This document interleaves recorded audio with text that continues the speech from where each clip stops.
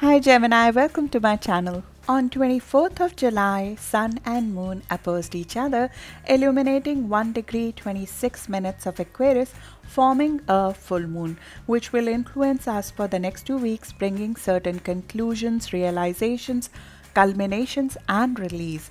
We would have another full moon in Aquarius on 22nd of August which would influence us on the same themes from 22nd of August to 6th of September. Together they are bringing us one step closer to what we seeded with Saturn Jupiter conjunction of December 2020 which is the new structure of our material growth for the next 20 years. We would also have a fun Leo season ahead, which is strong and needs to be balanced with these two full moons and the realizations of culminations that they're bringing in August. In the full moon video, I gave a brief of what the Leo season and the full moons bring to the collective. And now we are going to go over your specific zodiac sign to see the influence for your sign. You should check your rising sign followed by sun or moon sign. Rising is the most accurate, though career perspective holds from sun sign as well. Moon sign gives more information on the influence on our personal life. I use tropical western zodiac I do describe the specific degrees in my readings to make them more personalized for you, to show who is most impacted or benefited. But keep in mind the transit I describe here are for all of your zodiac and not just for those degrees of your sign. As before, if you would like to receive transcript of all of my videos and podcasts in your mailbox or just get the details of transit as they happen, you can sign up for my free newsletter. Link is in description for that. If you would like to support my work, making it more sustainable for me to do this at cost of a coffee a month, link to becoming a patron is in description as well. I would like to thank my patrons and subscribers who make this content possible. To not miss out on notification of any critical transit for you, do subscribe and press the little bell button for notifications. I appreciate your subscription, likes, comments, and your loving support very much. My name is Charu, and I'm your host on this journey. Let's begin.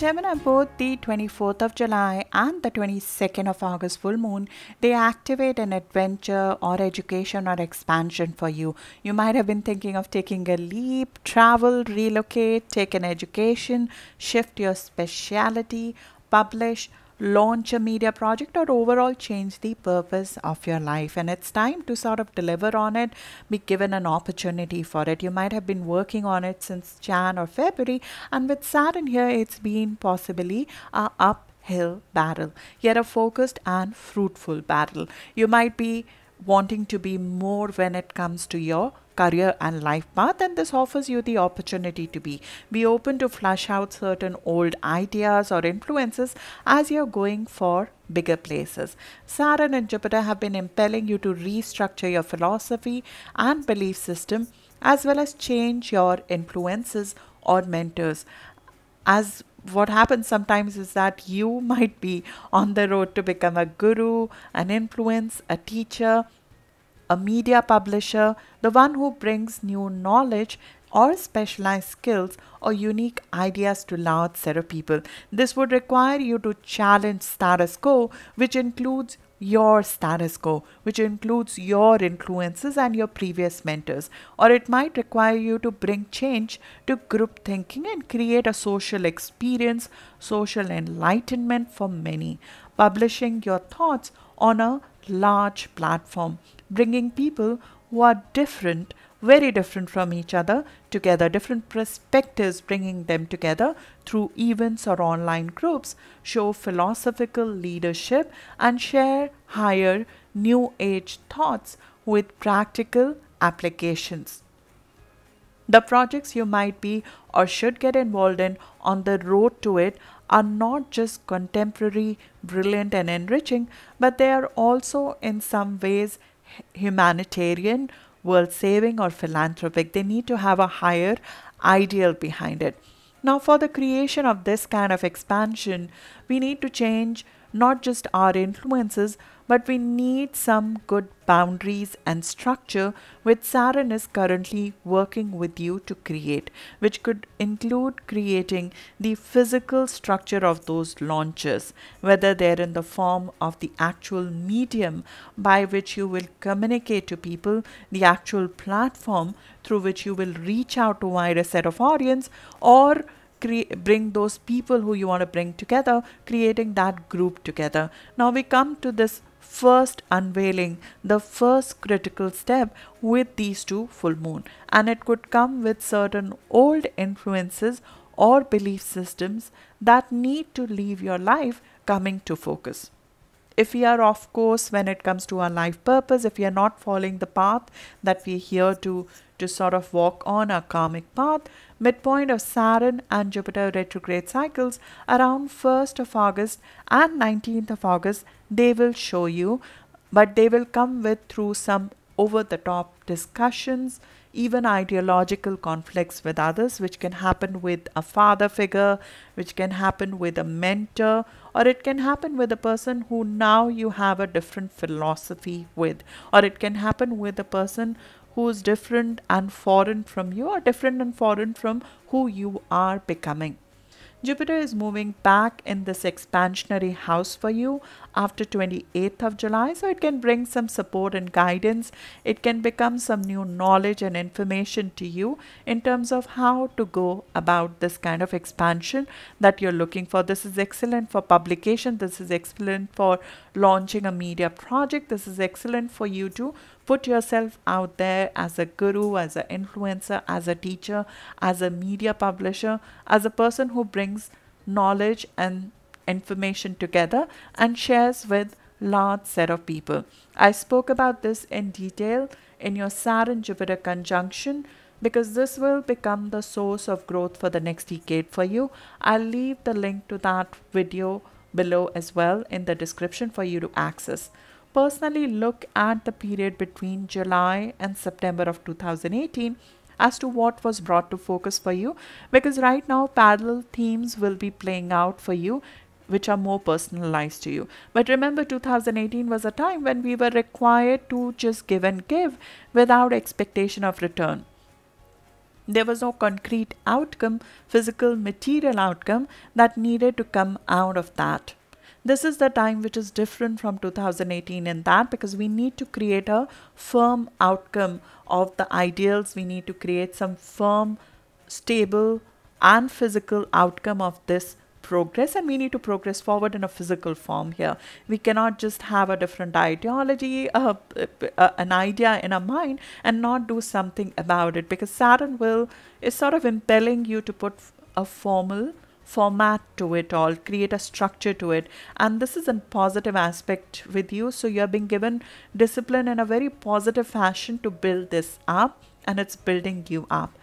This full moon which is happening on 24th of July which will be influential till 8th of August is specifically in positive aspect for rising sun or moon around early degree of Gemini around 1 degree of Gemini or around 22nd of May born but as I said in the introduction, all of you will feel these themes playing out for growth, restructuring, bringing this inner guru uh, or inner teacher in you, the, the educator in you out to play and bring something substantial to life, at least the first deliverable of it to life. Because Saturn and Jupiter are revisiting this house and reaching their midpoint, midpoint of retrograde cycle, which will mean that something will come to helm, like we need to deliver something. And it will also bring some chances of restructuring in what you have thought so far into focus because there might be new information, new actions uh, which will change the course of how you go about all of this to light. Like the topic of publication can change, or the medium by which you go about could change, or your audience can change, or your focus, your the subject of specialization and expansion could modify. This can fall into the house of precedes or partnership for some of you, especially 27 degree to 30 degree of Gemini, which is around 18 to 21st of June born Gemini Sun. So there could be some impending issues linked to joint finances, debt, spouses or partnerships money, health, intimacy, loans, taxes, which needs to be resolved and dealt with specifically for 27 to 30 degree of Gemini or around 18 to 21st of June born Gemini Sun. The crisis or issues linked to finances, linked to joint partnerships, they would need to be dealt before we can have our adventures, which will come to focus for these degrees, these specific degrees, with the 22nd of August full moon. We would though have to balance the larger picture, this vision we have, and the need for adventure we have with some mundane realities of getting things commercially done in August because that is Leo season for you. It's about commercial and communication endeavors when Leo season happens. We might have been living too much in our head and we would need to create more practical or livable philosophies we will need to balance our idealism with real life in August. If we have been hoarding a lot of information, like sometimes we just try to read, read, read, collect a lot of information, August will impel you to speak up and share it. No matter it's not perfect, but we are impelled to share it. Now, due to heavy planets in our house of belief, we can come across a little bit strong in our opinions without meaning to do so so in August, we need to balance that out by bringing the messaging and the skillful ideas we had through some lighter communication style or a easier to understand communication style or a more commercialized something that can be commercialized um, instead of being too heavy too skillful. We need to make it more palatable for everybody to consume. You are naturally gifted with making things palatable for people to consume. So this is use of your natural gifts, but we'll have to simplify the information and make it more communicable to the larger audience in August. August is great for this. It's great for publication. It's great for education. It's great for updating our skills, for reading, writing, and pinging a new mentor, a new influence and doing foreign multicultural things. The Leo new moon of 8th of August, it gives you an excellent opportunity to start a new skill set, to learn a new skill, or start a new communication or commercial project for you. It can bring opportunity to write, to talk, to sell, to speak up boldly, communicate, commute, travel, connect, commercialize, learn a new practical skill, get engaged in your local community, have a light, fun conversation with people, make a media contact or make a media appearance, deliver a skillful information in fun way, gain some fame or fame or recognition through your skills or written or verbal work. A contract, a commercial contract can come through, um, especially if you have rising sun or moon around 16 degree of Gemini, 3 degrees before and after, or around 7th of June born Gemini Sun, 3 days before and after. This might be a little bit sudden and out of your comfort zone, or it might require you to overcome some sort of fear or unconscious belief of self which you did not know is there but till we don't speak up we don't know that there's a hidden fear to speak up that might come in the way and we'll require to get rid of that fear for once. Keep in mind that in august we will have uranus exaggerating our past fears and our subconscious pattern or some sort of past which we have been holding on to it could come up for final cutting of the cord. It can cause you to feel very restless without much time to sleep or rest or relax, like something unknown or just the uncertainty or the restrictions or the slow progress is bothering you. You might feel lighter if you deal with it. If you deal with it, express what's bothering you because it can grow during the month, especially around 20th of August when Uranus is standing still we can feel very nervy. And uh, it's the month when hidden problems can become visible for you.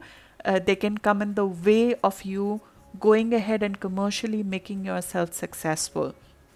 It could be a hidden belief system or the past losses that you did not know. Some cord has not been cut for you to go out and be free and light in some ways. Manage the restlessness. Um, manage, if possible, this can this can form. It, it can make our discussions a little bit darker, if I may say. It's it's something that needs to be dealt with. There is a hidden part of you which is holding you back. It is to deal with fear, with subconscious patterns, and we'll have to, for once, get rid of it. And you have the potential to get rid of it in August by daring to do what you're being asked to do. Put yourself out on a stage, put yourself out there when it comes to your skill, when it comes to speaking up.